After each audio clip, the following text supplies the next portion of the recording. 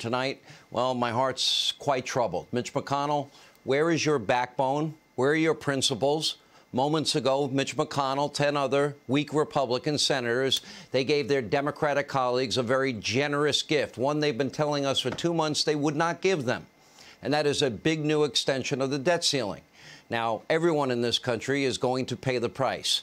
Until yesterday, Republicans had been completely united. They weren't going to budge. They were completely ignored and shut out by Democrats on the budget in the whole process. And they promised us, you, we, the American people, that they would not assist the Democrats in raising the debt ceiling. Democrats can do it all on their own. Democrats were panicking on Capitol Hill. Technically, they had enough votes. They they could have raised the debt ceiling all summer long and rammed it through their own reconciliation. They did not need the help of Mitch McConnell and 10 other weak Republicans, but they could not get it done.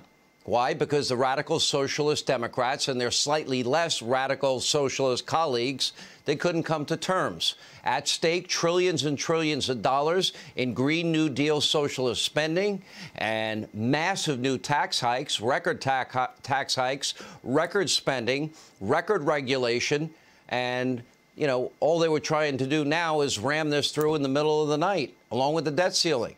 Because Democrats could not come to terms, they were threatening to blow up the legislative filibuster.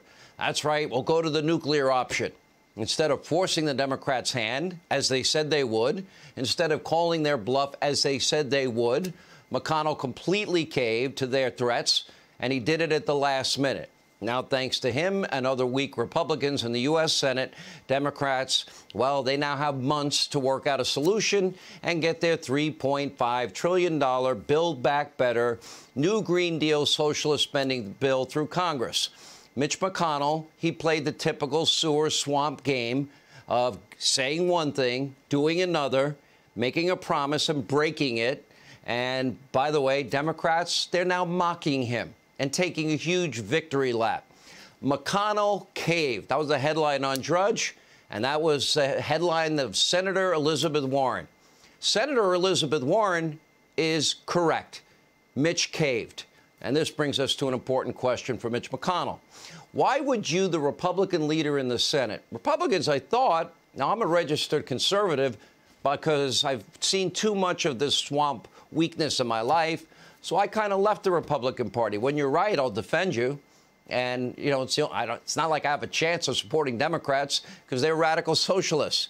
You know, why would you support raising the debt ceiling knowing what the Democrats' plans are? And that is to spend the $3.5 trillion on this socialist Green New Deal. McConnell's office claiming that he was looking to avert a default with a short term extension at a dollar uh, with a fixed dollar amount. At least they responded to us. What Mitch is not saying is that he and the Republican caucus said they were united and would not do this. They promised not to do this. Mitch now gave Democrats this precious time. Now they can work out their disagreements on their massive spending deal. And by the way, one that will be raising taxes at a record level, spending money at a record level, and that will cause uh, cause inflation to skyrocket, and it will hurt every American family. Already, inflation is costing the average American household $175 more per month. Do the math. Times 12, that's $2,100. That's a Biden tax now, inflation tax, on every single American household. He's only been in office nine months. Gas prices are now at a seven year high. Food prices are, are up through the roof. The price of raw materials are up. You know, look, look at, for example, everything that you buy, everything you pay for, it's up. Everything's up. And now just think what $5 trillion in new spending will do. Everything you buy will be more expensive. Your paycheck will be less valuable. And make no mistake, Joe Biden's Build Back Better socialist plan is a down payment for the 10 trillion they really want for their new Green Deal socialism. You know, government paid family leave, guaranteed job, guaranteed government pay, guaranteed government paid childcare, government paid college, uh, tuition amnesty, if you will, where you get, oh, no, you don't have to pay your, your loans back. Okay. I wish I had that when I was paying my loan back. Anyway, billions for illegal immigrants, massive womb to the tomb, government entitlements for anyone unwilling to work. I wrote in the book, Live Free or Die America and the World on the Brink. Socialism, its history of failure. Whatever name it's given, whatever manifestation it takes on, it gives the greatest promises of security. We will take care of you. Okay, the same people that say they keep our city safe and don't, they can't maintain law and order the same people that destroyed our school system, the same people that bankrupted Social Security and Medicare. They broke open the lockbox and they squandered the money. The same people that promised to keep your doctor plan and save money. Now, the United States is the greatest wealth creation system ever created. It will be completely upended, and our great economic system will end as we know it. That is what is at stake.